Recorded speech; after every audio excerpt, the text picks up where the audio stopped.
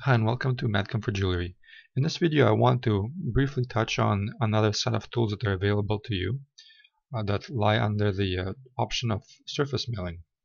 In particular, both planar finishing and pocketing. These are available in your 4 and 5 axis tabs under surface milling section. So here's our planar finishing and here's our pencil tracing.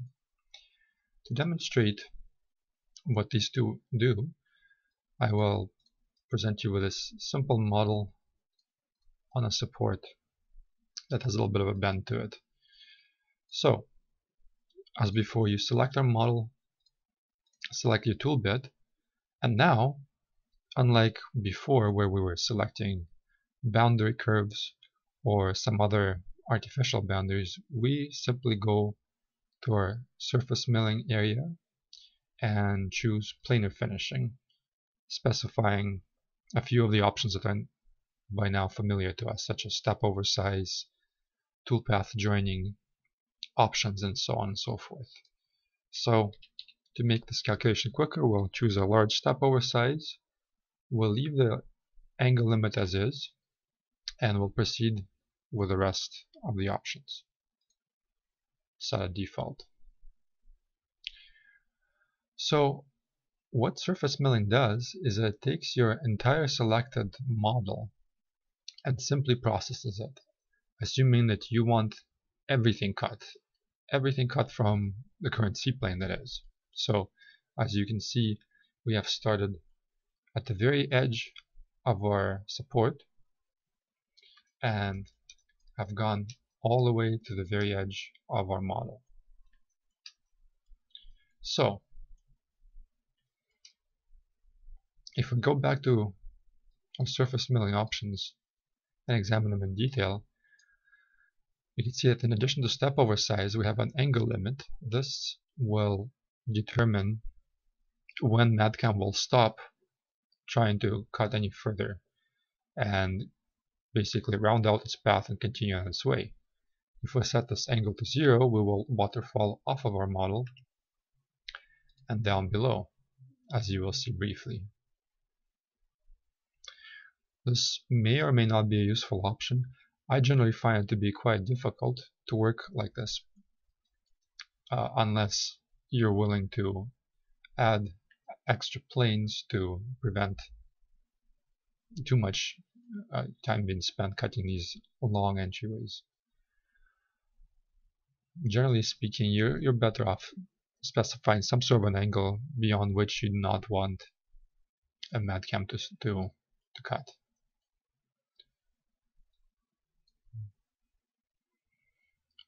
As before, you can also specify an angle of toolpath approach, uh, or rather cutting, either X or Y, or you can specify an arbitrary angle, such as 30 degrees.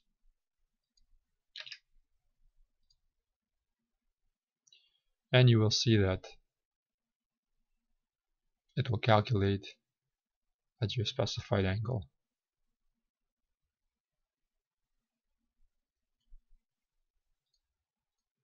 So there you are, that's your 30 degree angle processing. This may be useful for some patterns or designs. And you can also keep in mind that if you'd like to prevent MADCAM from cutting everything this way. For example, let's just say you want to cut this squash sphere. You can always just select this surface or poly surface and then apply your surface milling here with your preferred option set and it will cut just this leaving all the other areas alone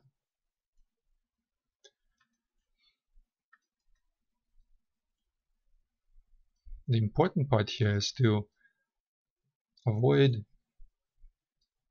any uh, angles that are too sharp that might cause that waterfalling effect we saw a second time when we specified no limit on the angles. And also avoid including any parts of the model that you do not wish to have cut. So for example if we do not want our support to be cut as a, a part of this operation, simply exclude it from the selection when you're first making selection for polysurfaces or surfaces or meshes in MADCAM. That will prevent it from being processed in one go. So that's our planar finishing.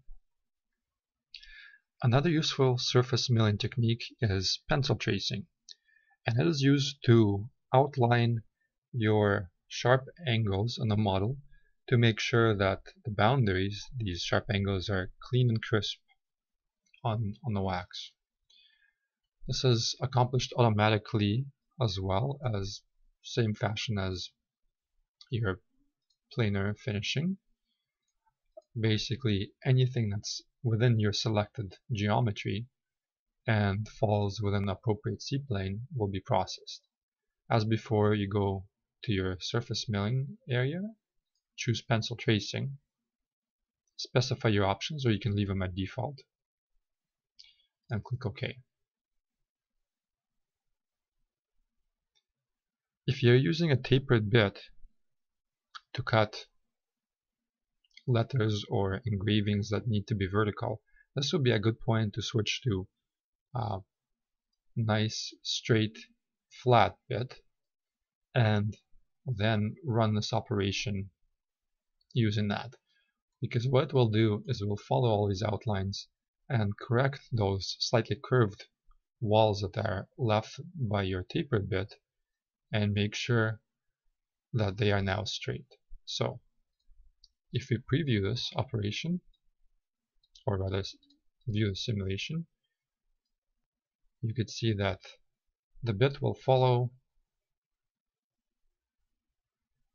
all of these boundaries and clean up anything that needs to be cleaned up around them.